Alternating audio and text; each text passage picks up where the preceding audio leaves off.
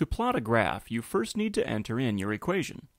You can do this by pressing the y equals button on the left side of the graph keypad area.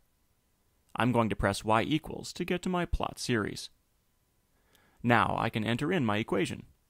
In this case, I'm just going to graph a basic line with the equation 2x plus 2. So I'm going to type 2, and then I'll press the x variable key, the operator plus, and then the 2 key. So essentially my function here is y1 equals 2x plus 2.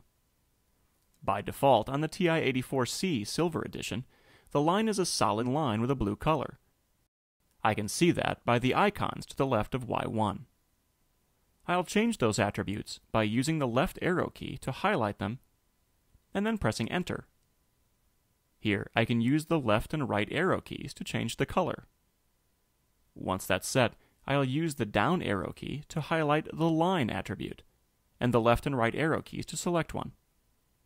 When I'm done, I'll press Enter to highlight OK, and Enter again to select it. Now, to plot this equation, I need only press the Graph key on the right side of the Graph keypad area.